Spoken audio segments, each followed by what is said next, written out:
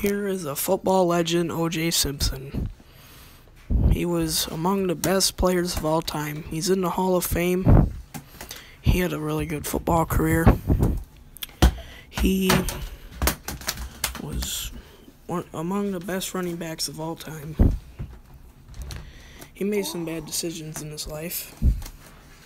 We'll get to that further in the video, but he was a really good player. He's in jail currently, as of right now, for bad things he's done in his life. So let's take a look at him. Here, you can see he shot a poor innocent man. I don't know why such a mean person would do that. Just look how brutal that beating is.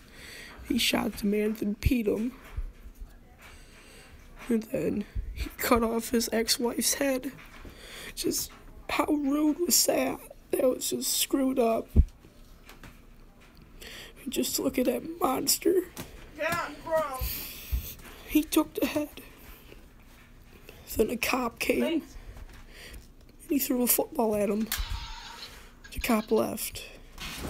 But then came back and shot him. Tell me your case. Then the court order came. You had a bomb.